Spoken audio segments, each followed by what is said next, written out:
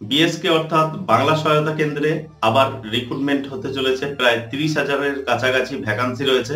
এখানে গ্র্যাজুয়েট যোগ্যতা থাকলে আপনারা আবেদন করতে পারবেন। পাশাপাশি আরও কিছু শর্তের কথা বলা হয়েছে। কীভাবে আপনি অনলাইনে আবেদন করবেন বিস্তারিত জানাব এই ভিডিওতে। পাশাপাশি কি কি যোগ্যতা থাকবে, কীভাবে অনলাইনে ফর্ম সাবমিট করবেন সাবমিট করার সময় কি কি ডকুমেন্টের প্রয়োজন হবে, বিস্তারিত দেখতে থাকুন। চ্যানেলে নতুন হলে সাবস্ক্রাইব করে পাশে বেল আইকনে ক্লিক করবেন।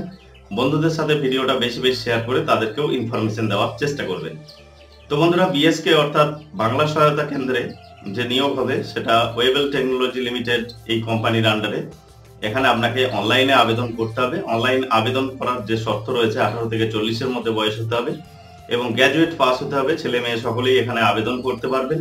পশ্চিমবঙ্গের সমস্ত জেলায় এই রিক্রুটমেন্ট হতে চলেছে। তিরিশ হাজারের কাছাকাছি নিয়োগ হতে চলেছে এখানে। এবং এখানে আরও দুটি শর্ত রয়েছে।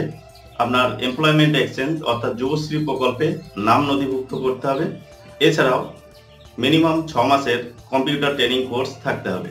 তো তাহলেই আপনি অনলাইনে আবেদন করতে পারবেন। এবার দেখে নেব কীভাবে আপনি অনলাইনে আবেদন করবেন। তো বন্ধুরা, বাংলা সহায়তা কেন্দ্রে অনলাইন অ্যাপ্লাই করার জন্য আপনাকে ডব্লিউটিএল অর্থাৎ ওয়েবেল টেকনোলজি লিমিটেডের যে অফিসিয়াল ওয়েবসাইট রয়েছে, এই অফিসিয়াল ওয়েবসাইট থেকে অ্যাপ্লাই করতে হবে। এই লিঙ্ক ডেসক্রিপশনে দেওয়া রয়েছে। সেখান থেকে ডাইরেক্ট আপনি এই পেজে পৌঁছে যেতে পারবেন। এখানে কেরিয়ারের আন্ডারে কারেন্ট ওপেনিং যে অপশান রয়েছে, এখানে আপনি ক্লিক করবেন। পরবর্তী পেজ আপনার সামনে ওপেন হবে। এখানে দেখুন, নিচে একটা অপশান রয়েছে, অর্থাৎ apply for data entry operator এখানে একটা লিঙ্ক দেওয়া রয়েছে। এই লিঙ্কে আপনাকে ক্লিক করে অ্যাপ্লাই করতে হবে। এবং এখানে দেখুন এইট জুলাই দু হাজার বাইশ থেকে অ্যাপ্লিকেশন শুরু হচ্ছে। সতেরোই জুলাই দু হাজার বাইশ পর্যন্ত অ্যাপ্লাই চলবে। এর মধ্যে আপনাকে আবেদন করতে হবে। এখানে লিঙ্কে ক্লিক করলে পরবর্তী পেজ আপনার সামনে ওপেন হবে। তবে অনেক সময় ওয়েবসাইটের সমস্যার জন্য পেজটি ওপেন নাও হতে পারে, পরবর্তীতে আপনি ট্রাই করবেন। এখানে দেখুন, অ্যাপ্লিকেশন করার জন্য মাঝখানে যে অপশান রয়েছে অ্যাপ্লিক্যান্ট রেজিস্ট্রেশন, এখানে আপনি ক্লিক করবেন। এখানে ক্লিক করলে এবার আপনার সামনে ফর্মটি ওপেন হবে অ্যাপ্লিকেশন করার জন্য। ওপরেই দেখছেন ডাটা এন্ট্রি অপারেটর। এখানে আপনাকে ফার্স্ট নেম, এন্ট্রি করতে হবে, মিডিল নেম এবং লাস্ট নেম। তারপরে এখানে আপনার আধার নাম্বার এন্ট্রি করতে হবে ডেট অফ বার্থ এখান থেকে আপনি সিলেক্ট করে দেবেন। তারপরে এখানে এমপ্লয়মেন্ট রেজিস্ট্রেশন নাম্বার আপনাকে এন্ট্রি করতে হবে। অর্থাৎ এমপ্লয়মেন্ট এক্সচেঞ্জে আপনার নাম নথিভুক্ত থাকতে হবে, সেই রেজিস্ট্রেশন নাম্বার এখানে আপনাকে এন্ট্রি করতে হবে। তো এমপ্লয়মেন্ট এক্সচেঞ্জের কীভাবে নাম নথিভুক্ত করতে হয়, তার জন্য আমাদের চ্যানেলে আলাদা ভিডিও আপলোড করা আছে। সেই ভিডিওর লিঙ্ক আমি ভিডিওর ডেসক্রিপশনে দিয়ে রাখব। সেখান থেকে আপনি এমপ্লয়মেন্ট এক্সচেঞ্জে নাম নথিভুক্ত করতে পারবেন। এখানে আপনার মোবাইল নাম্বার এন্ট্রি করার পর একটা অপশান দেখবেন, এখানে চলে আসবে ভেরিফাই মোবাইল নাম্বার এখানে ভেরিফাই মোবাইল নাম্বারের উপরে ক্লিক করবেন। ভেরিফাই মোবাইল নাম্বারের উপরে ক্লিক করলে আপনার মোবাইলে ওটিপি সেন্ড হবে। ওটিপি আপনি ওটিপির ঘরে এন্ট্রি করবেন, তারপরে ভেরিফাইয়ে ক্লিক করবেন। তো ওটিপি এন্ট্রি করার পর এখানে ভেরিফাইয়ে ক্লিক করবেন। ভেরিফাই ক্লিক করলে এখানে দেখবেন একটা সবুজ কালারের সিম্বল চলে আসবে, অর্থাৎ আপনার মোবাইল নাম্বার ভেরিফাই হয়ে যাবে। ঠিক একই রকমভাবে এখানে ইমেল আইডি এন্ট্রি করবেন।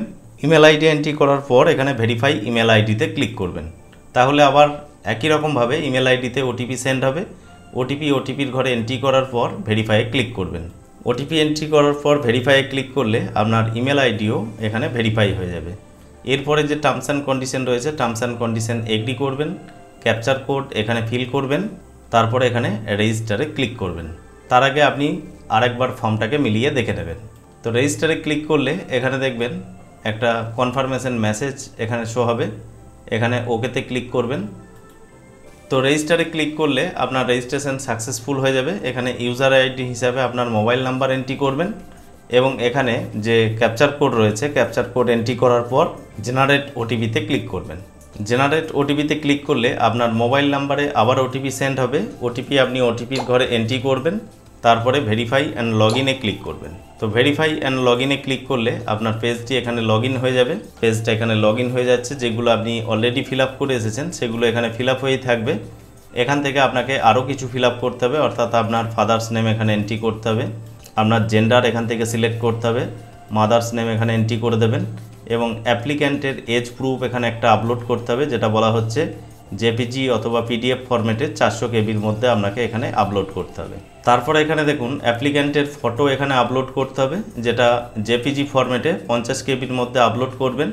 তারপরে অ্যাপ্লিক্যান্টের সিগনেচার এখানে আপলোড করতে হবে, যেটা জেপিজি ফরম্যাটে পঞ্চাশ কেবির মধ্যে আপলোড করবেন। উপরে আপনার ইমেল আইডি এবং মোবাইল নাম্বার শো হবে, যেহেতু আপনি আগেই এন্ট্রি করেছেন। প্রেফারেন্স আপনাকে এখানে সিলেক্ট করতে হবে, অর্থাৎ যেখানে আপনি যে ডিস্ট্রিক্টে কাজ করবেন, সেই ডিস্ট্রিক্ট এখান থেকে সিলেক্ট করে নেবেন। সাপোর্টিং ডকুমেন্ট হিসাবে দুটি অপশান পাবেন, একটা আধার, একটা ডিআরসি অর্থাৎ আধার কার্ড আপনি আপলোড করতে পারেন, অথবা ডিজিটাল রেশন কার্ড আপনি আপলোড করতে পারেন। তো আপনার যেটা রয়েছে, সেটা আপনি এখানে সিলেক্ট করবেন এবং সেই ফাইলটা অর্থাৎ আধার কার্ডের নাম্বার এখানে শো হবে, দেখবেন যেহেতু আধার নাম্বার আগেই দিয়েছেন।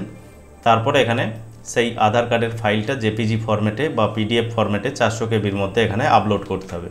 একটু নিচের দিকে এখানে আপনার সমস্ত অ্যাড্রেসটা ফিল করে দেবেন। এখানে আপনার অ্যাড্রেস ফিল করে দেবেন। তারপরে দেখছেন এমপ্লয়মেন্ট রেজিস্ট্রেশন ডিটেলস অর্থাৎ আপনি যে এমপ্লয়মেন্ট আইডি দিয়েছেন, সেই এমপ্লয়মেন্ট আইডির আন্ডারে আপনার রেজিস্ট্রেশন ডিটেলসটা প্রুফটা এখানে আপলোড করতে হবে। এখানে চারশো কেবির মধ্যে আপনি আপলোড করে দেবেন। তো এমপ্লয়মেন্ট এক্সচেঞ্জের যে রেজিস্ট্রেশন ফর্মটা আপনি রেজিস্ট্রেশন করার সময় পেয়েছেন, সেই রেজিস্ট্রেশন ফর্মটা এখানে আপলোড করে দেবেন।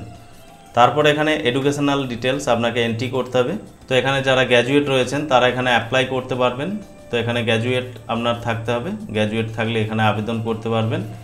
এবং এখানে নেম অফ কোর্স এখান থেকে বিএ বিএসসি বিকম যেটা রয়েছে, সেটা আপনি এখান থেকে সিলেক্ট করবেন। তারপরে ইয়ার অফ পাসিং কত সালে আপনি পাস করেছেন, সেটা এন্ট্রি করবেন। তারপরে কোন ইউনিভার্সিটির আন্ডারে তারপরে আপনার মার্ক নাকি সিজিপিএ সেটা আপনার কি ছিল, সেটা আপনি এখানে সিলেক্ট করবেন। যদি মার্ক থাকে মার্ক তারপরে এখানে দেখুন টোটাল অপটেন্ট মার্ক এখানে আপনাকে এন্ট্রি করতে হবে। তারপরে পার্সেন্টেজ অফ মার্ক কত রয়েছে এবং যে ফাইনাল মার্কশিট রয়েছে, সেই ফাইনাল মার্কশিট এখানে চুজ ফাইলে ক্লিক করে জেপিজি বা পিডিএফ ফরম্যাটে আপনাকে চারশো কেবির মধ্যে আপলোড করতে হবে। তারপরে এখানে দেখুন কম্পিউটার যে সার্টিফিকেট রয়েছে বা কম্পিউটার কোর্সের যে প্রুফ রয়েছে, সেটা আপনাকে এখানে এন্ট্রি করতে হবে। তো কম্পিউটার ট্রেনিং যেটা রয়েছে, ছ মাস নাকি এক বছরের বা এক বছরের উপর, সেটা আপনি এখান থেকে সিলেক্ট করবেন। তারপরে এখানে যে সার্টিফিকেট রয়েছে, সেই সার্টিফিকেট আপনাকে চারশো কেবির মধ্যে আপলোড করতে হবে। এবং এখানে আপনার নাম শো হবে দেখতে পাবেন। এবং এই যে টার্মস অ্যান্ড কন্ডিশন রয়েছে টার্মস অ্যান্ড কন্ডিশন এগ্রি করে এখানে ভেরিফাই অ্যান্ড সাবমিটে ক্লিক করবেন। যে আপনার ফাইনাল ইয়ার যে মার্কশিটটা আপনাকে আপলোড করতে হবে, সেটা বোথ সাইডে আপলোড করতে হবে। সেটাও এখানে বলা রয়েছে বোথ সাইড স্ক্যান করে আপনি আপলোড করবেন। তো বন্ধুরা, ভিডিও ভালো লাগলে অবশ্যই লাইক করবেন, বন্ধুদের সাথে শেয়ার করবেন। আমাদের সাথে যুক্ত থাকার জন্য পরবর্তী নেক্সট আপডেট পাওয়ার জন্য চ্যানেলটি সাবস্ক্রাইব করে পাশে বেল আইকনে ক্লিক করবেন।